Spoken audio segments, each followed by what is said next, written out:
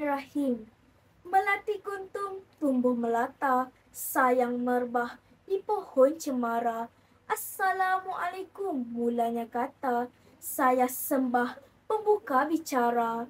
Nama diberi Mai Hasya Imani binti Mio Muhammad Hafiz, pelajar tahun 6 dari Sekolah Kebangsaan Seri Petaling. Bak kata pepatah, tak kenal maka tak cinta. Jadi hari ini saya akan kongsikan sebuah karya yang sangat berinspirasi dan bermotivasi buat semua rakan-rakan saya di luar sana. Tahfiz terbakar mengandungi 122 muka surat dengan 10 bab di dalamnya.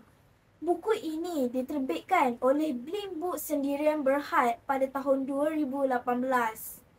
Sebelum kita mengelak setiap helaian kertas yang ada di dalam buku ini, eloklah sekiranya kita berkenalan dahulu dengan penulis di sebalik karya Tahfiz Terbakar. Puan Syasha Ali dan Puan Rashina Nurain ialah penulis yang menghasilkan buku ini daripada kisah benar yang pernah berlaku di Kampung Keramat Kuala Lumpur. Berharga sekitar RM12 untuk Semenanjung dan RM14 untuk Sabah dan Sarawak. Harga yang ditawarkan ini sangatlah berpatutan dan mampu dimiliki oleh semua orang. Pasti ramai yang tahu tentang tragedi Tafiz terbakar pada tahun 2017 bukan? Insiden itu mengorbankan sebanyak 23 mangsa termasuklah guru dan pelajar tahfiz. Paling mengejutkan, didapati pesalah laku yang dituduh kesemuanya berusia 11 tahun hingga 17 tahun iaitu usia juvana. Memang menggeparkan.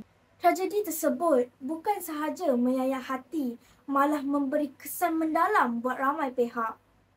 Kisah kali ini mengenai Farid yang tercicir dari persekolahan. Oleh sebab hubungan terlalu rapat dengan abang, dia terikut-ikut perangai salahnya. Tidak ke sekolah, melepak hingga lewat malam, tidak pulang ke rumah dan yang paling dahsyat, terlibat dengan najis dadah. Bukan itu sahaja, rupa-rupanya mereka juga terlibat dalam kes kebakaran tahfiz terbakar Kisahnya bermula apabila seorang budak tafiz bernama Fawaz menegur Abang Farid yang bernama Debab dan kawannya Johan yang pada ketika itu sedang menghisap dadah di taman awam.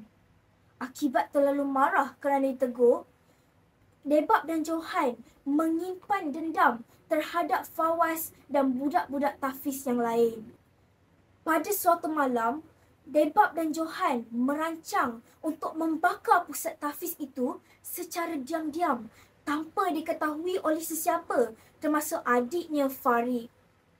Pada keesokan paginya, kecoh di seluruh kejiranan mengatakan pusat tahfiz itu telah terbakar serta meragut sebanyak 23 nyawa.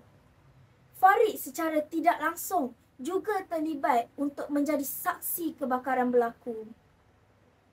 Setelah siasatan polis dilakukan, ternyata Debab dan Johan adalah pelaku jenayah tersebut. Disebabkan Farid terlibat secara tidak langsung, dia juga ditangkap dan disabitkan kesalahan kerana mengisap dadah dan dipenjara selama dua tahun.